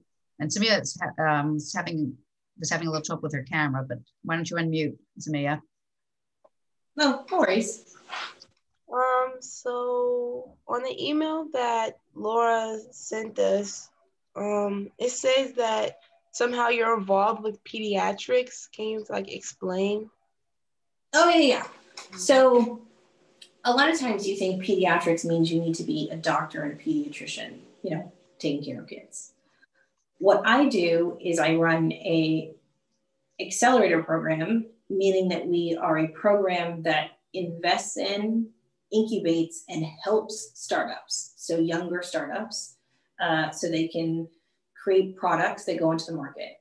Those products are medical devices, and the patients that those products will be used in are children. So our program is pediatric focused because the pediatric pediatrician or pediatrician slash pediatric patient is the end user of the products that we're helping develop. Yeah. And Samia, actually, her mentor is your associate, Dr. Espinosa. Oh, perfect. So yeah. you're working with Espinosa. Yeah. He is great. Juan actually is a pediatrician and he works at CTIP uh, and we went to medical school together. Yeah. And Daisy and uh, Daisy's also interested in nursing, correct? And why don't you talk with um, with Catherine a little bit about how you know, is there any room in, in the entrepreneurial world that you might be interested in? The questions you have about it? Or do you understand what the entrepreneur world is? Um, how does like um, marketing um, like a new product like um, does a account like for the medical field like for like hospitals do you market towards like hospitals? Or Yeah. So I think what you're asking is how does marketing work within with with technologies for hospitals? So what you got to think about is in terms of the marketing, like who is the customer? So meaning who uses the product, but more importantly, who pays for the product.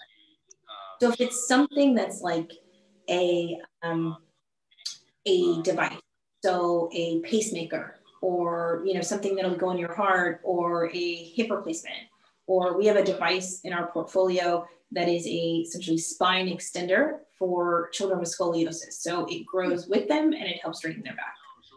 Uh, the end customer or the person who that gets used in is a child. However, the customer of that product is the hospital because the hospital buys the device that the surgeon then puts in the child. So when that company markets, they need to market to the surgeons and the hospital. Because if you tell the surgeons, I have a better device that will have better outcomes for these patients, they become very interested. But then the hospitals become very interested because if there's a better product, their patients will have a better experience. It may cost them less money in terms of rehospitalizations. And there are other things down the line that are beneficial to those parties. Uh, if you marketed a spine growing rod just to patients with scoliosis, they may become very excited about that, but they have no control over which device gets implanted in them because they're not the surgeon. Um, I know uh, Deborah mentioned that you're interested in nursing, and ha- and also Deborah asked how does nursing relate to maybe entrepreneurship. So we have a nursing innovation group that CTIP, our organization, meets with every month. We bring three of our startups to that group, and those nurses give live feedback to the founders of our companies about their devices. Like, well, we wouldn't necessarily use this in a patient because it's like hard to stick down. Or I, you know, I don't know about this because a lot of devices are not just used by physicians. They're utilized by nurses taking care of patients, and they have that, they have a lot more patient patient facing time than physicians have. So just like we have a feedback group that's doctors that tell us about would you use this implantable pacemaker, we have a group of nurses that gives us the same feedback. And these nurses are interested in innovation. They know how to take care of patients and they're interested in like really cool products. Mm. So even if you go into nursing, you can go into entrepreneurship in that way, whether it's giving feedback to companies or whether it's thinking of companies. We have nurses who are founders in our portfolio that they saw a problem that like they really wish they had a solution for, and then they just made it. Interesting. And Charlie, why don't you tell Catherine about your area of interest and see if there's anything going on with her company there? Um, uh, I'm more interested in environmental science and like the biology of animals. So that's that's kind of like my area of focus. Well, in terms of animals, uh, pretty much all of our, a lot of our medical device companies need to go through uh, animal clinical trials before they can go through clinical trials in humans. So they're animals somewhere, but they are earlier down the line, if that is helpful to you. And are there, would any of your companies, being that they're focused on pediatrics, would there be anything involved with environmental issues or concerns? Have you ever seen that come in front of you? Um, so we've seen a couple companies, for example, we have a company that makes a nebulizer, a very small device that you would use to help you breathe if you have asthma. Mm. So uh, there are certain areas of uh, the country and even Los Angeles that have uh, worse air quality than others. And so tracking how a device like that can be used amongst different populations, especially those who live in areas where the environment might be a little bit worse, uh, becomes really important. So when a company like that thinks about doing clinical trials, they want to make sure that they are looking at the environmental factors that affect these children who have asthma and making sure that they include a diverse group of children uh, to look at and to make sure that the device is effective. Interesting. Interesting. Anybody have anything else? I think we're about to change rooms. Time we didn't cut you off. that was great. And also, hi, Gabby. I know you didn't ask any questions, but oh no, Gabby's with you. I don't even know. Yeah, yeah, yeah. She's but like, yeah. this was great. I'm really happy you guys are in the BioFlex program, and it's been really nice to meet you. All of your questions have been very insightful and thoughtful, and I really wish you the best on what you're going to do next. Thank you. Did we get through everybody? I, yes, we did. Good, good, good, good. Okay, well, we're doing great on time. Um, what I would like to uh, to finish up with is um, just if our if our speakers, our presenters, could just kind of summarize maybe one or two um, key words of advice, or if you were back in high school, what would you have done differently, if anything? And maybe why don't we start with Catherine? All right, guys, me go first. So based on the really, really great questions that I got asked in these feedback groups, and uh, it was really interesting hearing your guys' varied levels of interest within bioscience. Uh, very, very interesting. My word of advice is to think bigger than the end goal of whatever um, like education or degree you're pursuing. So whether that may be nursing or uh, science or engineering, there can be a step after that, but you may not know what that step is until you finish the first step.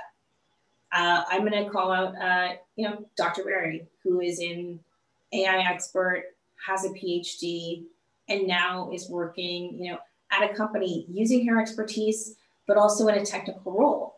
She could have gone into academia and simply teach other students how to learn about AI. That's almost the traditional path that people can get a PhD.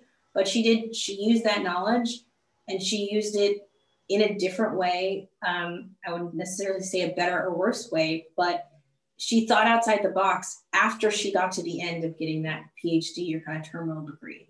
So my advice to you guys is what you're learning now isn't the end, but don't think that you have to know what the end is right now. Thank you. Thank you. Well, since your name was called out, Jasmine, I guess we have to go to you. any any final words or comments you'd like to make or what you have done would have done differently? Absolutely. Well, thank you, Catherine, for um, I guess using me as that example there. Uh, so um, to that point, maybe a bit of advice. If I had the opportunity to go back uh, to my high school days, what I would do differently. Uh, you know, I was very studious back then. I knew that I did want to land in the, the tech space somehow or even in the medical space somehow and just find a way to merge them together. But one thing I would definitely do differently is I would take the initiative to learn outside of the classroom. Uh, you know, there were a variety of uh, topics and I think problems that I wanted to solve even back then. And, you know, when I was a freshman to a senior. Um, but, you know, I didn't have that motivation to, you know, take the time to learn outside of classroom and seek opportunities uh, on my own. And for you all nowadays, um, you know, back then, you know, the internet was still kind of coming up and still becoming more popular. But nowadays, you have the internet at your fingertips, and you have all of these tutorials, you know, on programming and how to uh, how to code, how to you know create your own uh, medical devices and run it through FDA regulations. You know, all of this information is out there. Most of it is free, and um, I, I guess I I want to um, motivate you guys to consider, you know, just taking what you know, uh, continuing to learn, having that the drive to solve the problems that you are interested in. And for those people who are even undecided right now, um, as you mentioned in the in the, the breakout rooms, uh, continue to explore your options. Uh, use college as an exploratory period uh, where you're learning to see what all is available out there. Uh, when I was in college, I didn't know exactly what I wanted to do after I finished grad school or even what I wanted to study in grad school.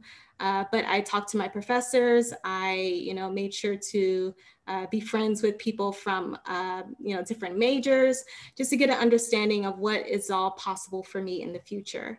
And eventually, uh, you will come across the the topic or the the field that you want to master in, and that you want to, um, you know, make a career out of. Uh, so that's something I would tell myself, my younger self, if I could go back. And, um, uh, you know, but everyone has their own path. And I think for you all, you will have your own path and your own journey uh, to get where you're going to go. Uh, so uh, just be mindful of that um, and keep your options open. And I look forward to calling uh, some of you all doctor one day. Great. doctor or, you know, a technologist, computer scientist, um, uh, biologist. I, I, I look forward to seeing those titles behind your name. Thank you. Garrett, you've been around a bit. You've been in a whole different world with lots around you and big campuses physically. Any specific words or advice, or again, your younger self, what you would have, what you would say? Sure. I guess uh, I'll kind of echo and maybe say what Jasmine and Catherine kind of said, but also in a different way. I, I would encourage folks to stay curious. Um, and, you know, as, as Catherine and Jasmine said, you know, there's always a, a bigger picture and just don't lose sight of that bigger picture and don't lose sight of who you are and, and, you know, your moral compass, because I think with curiosity and with the right focus and, you know, understanding what drives you um, every day, um, I think we'll do far more than any other class, degree, um, you know, work training class that you can take um, because it, it, brings out an innate passion in you and that energy that you bring to your team um, and those around you and the people that you surround yourself with um, are only going to fuel your career and your options and your life um, even to a more fulfilling amount. Um, and I think that's one, one of the most important lessons I've learned um, over the years. Great, thank you. Thank you so much. Good wisdom here. Allison, any word that you'd like to share? So yeah, definitely echoing my fellow um, panelists that your path and your trajectory don't have to be linear. Um, I, you know, went to grad school and got a PhD and kind of that's training me to be a teacher, to run a lab, to be in an academic position. And it felt really scary to realize that was not what I wanted, but not be exactly certain what I wanted to do instead. And so I think it's important to follow your passions. And so I was very lucky to be able to combine my love um, for science and my passion about being part of the cancer research field um, with my skill and my interest in writing and communicating. And so it's important to be able something that you might do on a volunteer level or even on a personal hobby level can ultimately be something you can incorporate into your um, professional life as well. Um, and yeah, I, I, at your age didn't didn't know exactly what I wanted to do. I thought medicine because that seemed like the logical thing to do as a kid who liked science. But there's many other ways, um, both to um, to become trained and educated, and then to use that education and training to help solve problems um, in in the world and in your neighborhood whatever you know whatever you're excited about um, you i'm sure will be able to make a great impact and um, and be able to do something that you're proud of. Thank you. Thank you. Yeah, angel if you could finish us off here with some words that you'd like to share. Yes um, I guess I'll echo a little bit about what everyone has touched on, but it's in a slightly different way as well.